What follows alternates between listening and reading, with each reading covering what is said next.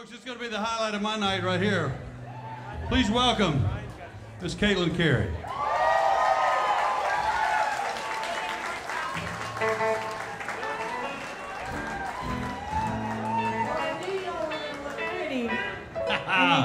you knew we were going to look pretty, absolutely.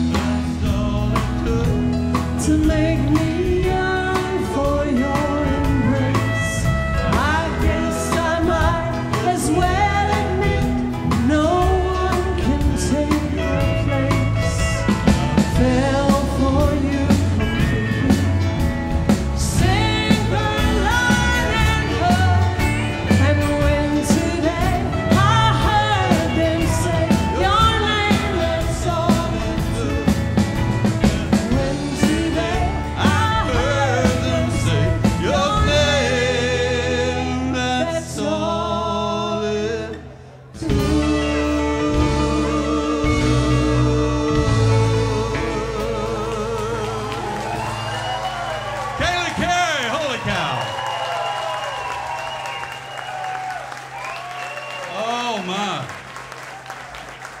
I won't be any good for the rest of the night.